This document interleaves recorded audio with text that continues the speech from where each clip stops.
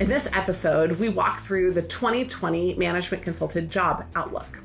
This is an opportunity for us to take a look at what we see is happening inside the consulting landscape, drawing on both our experience from the 2008 financial crisis and our experience navigating through the last six months as this crisis has unfolded.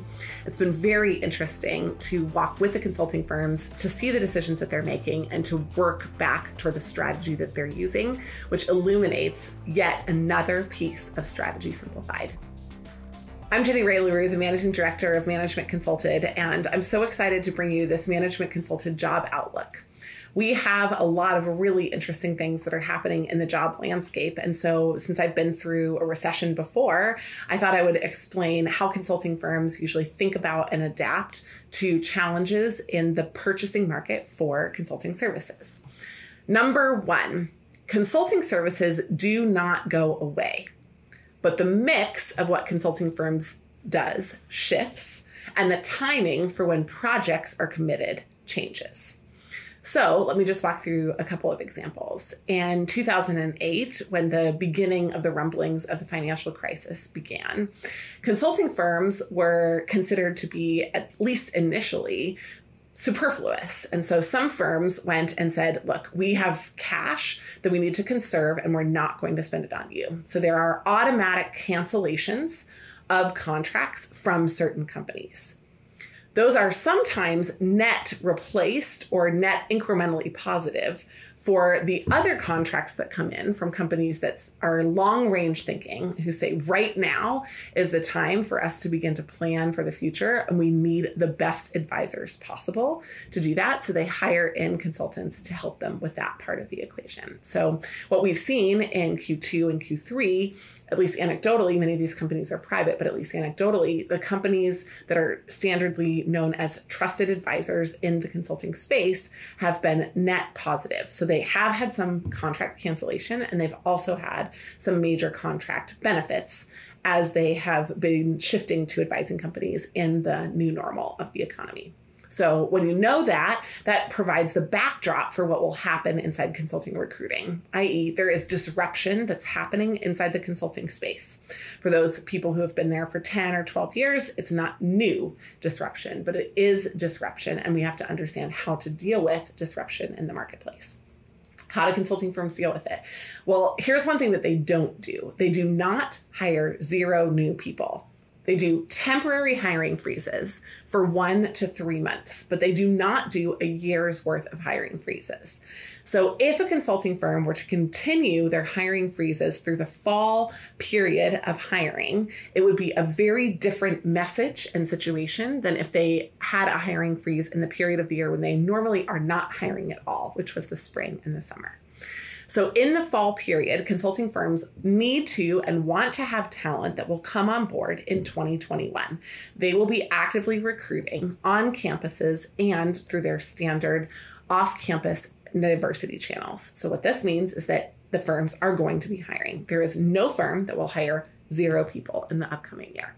However, are firms revising the numbers of people that they are hiring down? The answer is a super solid yes.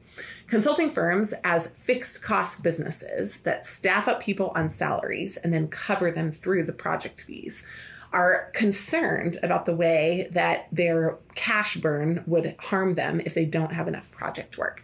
And so, in an environment like this, they don't go to zero, they don't go to a shock mode, but they do become highly conservative in this space. And so, they will hire fewer people. In addition, with that conservatism comes a focus and a refocus on where they will hire. So, consulting firms are less ambitious about hiring out of the box candidates. They go back to their core target schools. They go back to the core places, both in undergrad and in the MBA programs, where they have long pipelines of expected great talent. They also go very strongly on referrals from people that are internal. So referrals become even more important, especially if you're not at a non target school. And sometimes they actually do the two of them together. So they begin to look more at referred candidates from target schools rather than taking an open ended view of those people and those schools. So, with those things in mind, we have disruption in the landscape, which is not permanent, but definitely changing what consulting firms are working on and how they can plan for the future. We have conservatism that is entering into the way that they think about hiring in general. But we also have this important need for great talent, which means that they're not going to miss out on the peak hiring season. So, the fourth thing that consulting firms will do is that they will hire what they believe is the base number of consultants that they will need for the upcoming year, both at the undergrad and at the post MBA level, and experienced hires everywhere in between.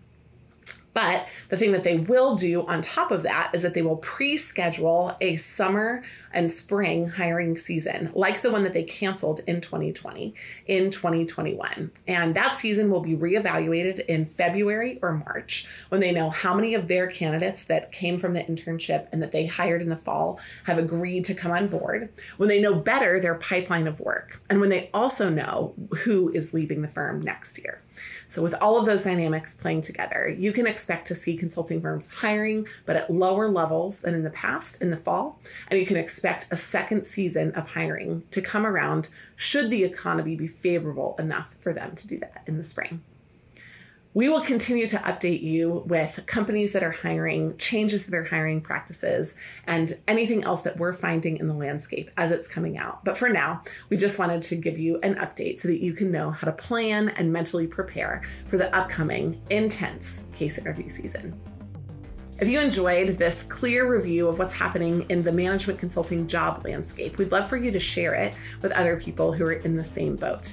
In addition, if you're wondering how to prepare for the very intense upcoming season, we would love to help you. At Management Consulting, we have a great black belt program, and we also have great free resources at the website managementconsulted.com.